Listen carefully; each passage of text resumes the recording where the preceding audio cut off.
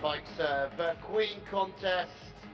Let's Megawati uh, will get us on the way. The Indonesian. Right, so oh, no, she won't. We're just uh, and uh, again hitting the float serves not going to be how you generate as much pace as hitting a spinner. Megawati uh, is going to hit the spinner, and uh, she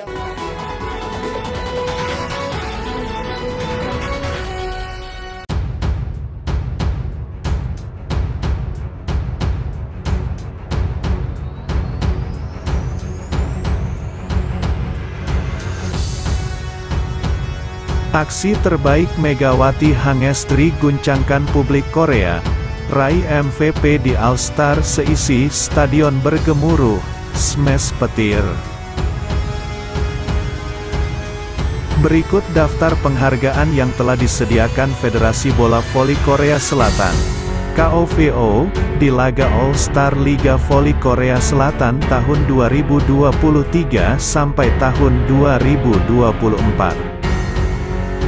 Penghargaan yang akan diberikan kepada para pemain bintang berpartisipasi dalam laga All-Star ini terdiri dari beberapa kategori, di mana setiap pemain termasuk Megawati Hangetsri berpeluang untuk meraih penghargaan yang disediakan. Fantastisnya, KOVO telah menyiapkan hadiah untuk kategori Most Valuable Player, MVP, dengan nominal mencapai 35 juta rupiah lebih. Maka dari itu simak daftar penghargaan yang bisa diperoleh Megawati Hangestri di Liga All-Star musim ini.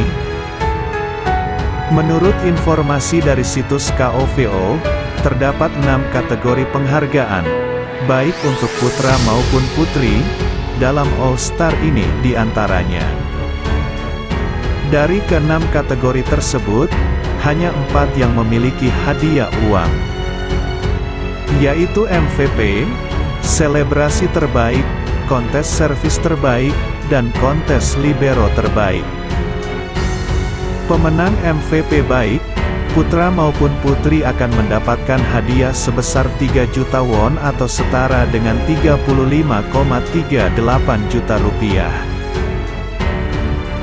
Sementara itu, kategori selebrasi, kontes servis, dan kontes libero terbaik akan mendapatkan hadiah sebesar 1 juta won atau sekitar 11,79 juta rupiah. Dalam empat kategori hadiah tersebut, Megawati Hangestri memiliki peluang untuk meraih penghargaan, terutama pada kategori MVP, selebrasi, dan servis terbaik. Penting untuk dicatat bahwa dalam kategori kontes libero terbaik, pemain berusia 24 tahun ini juga dapat berpartisipasi. Aturan dalam All-Star memperbolehkan peran libero yang lebih serbaguna, termasuk kemampuan menyerang, berbeda dengan aturan pertandingan reguler. Perlu diperhatikan bahwa musim ini, kategori hadiah dalam All-Star tahun 2023 sampai tahun 2024 sedikit berbeda dibandingkan dengan musim sebelumnya.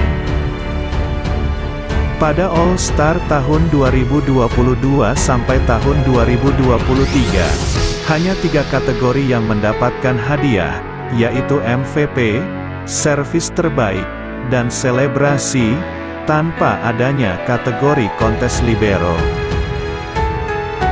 Sejumlah penghargaan menanti Megawati Hangestri dalam pertandingan All-Star Liga Voli Korea tahun 2023 sampai tahun 2024. Laga All-Star akan menyajikan persaingan antara Kastar vs V-Star di Incheon Samsan Gymnasium pada Sabtu, Tak hanya itu, bintang voli putri Indonesia, Megawati Hangestri, membantu V-Star meraih kemenangan dalam All-Star Liga Voli Korea Selatan di Incheon Samsan World Gym, Sabtu, tanggal 27 Januari tahun 2024, siang WIB. Megawati sempat tampil bersama tim V-Star All-Star Putra Liga Voli Korea Selatan. Namun, dia tak mendapatkan kesempatan banyak dan hanya satu kali melakukan servis. Sementara bersama tim Putri V-Star, Megawati tampil dari bangku cadangan dan sempat tertinggal 0-1 dari Kastar. Perlahan V-Star bangkit dan mengejar ketertinggalan menjadi 2-3.